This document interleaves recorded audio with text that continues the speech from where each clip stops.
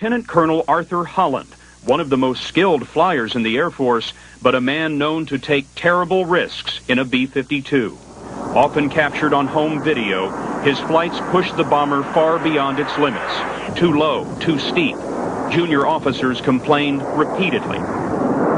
But it was after this flight, when Holland cleared a ridge by 30 feet, that one officer decided he had to be stopped.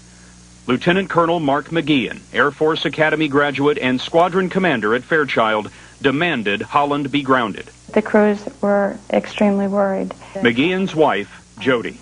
One of the aviators in the squadron was not a safe flyer, and they did not want to fly with him anymore. But superior officers defended Holland, saying he was too senior, too experienced to be grounded. They refused McGeehan's request. He more or less stood by the door and looked at his commander and said, I just want to make sure that you completely understand me. I do not believe that he should ever be able to fly again. So with his superior officer refusing to act, McGeehan did the only thing within his power.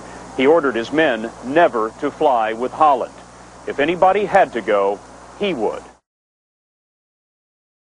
Pilots who witnessed the crash knew the aerobatics were reckless, yet initially Air Force Secretary Sheila Widnall denied it.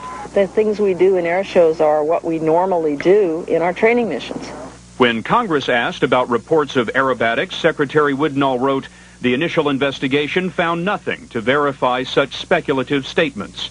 Today, the Air Force Secretary is touring Asia, unavailable for comment. During three years of reckless flying, there was a succession of 10 senior officers at Fairchild who had authority over Holland. The report shows that these men covered for him. There are no official reprimands in his file.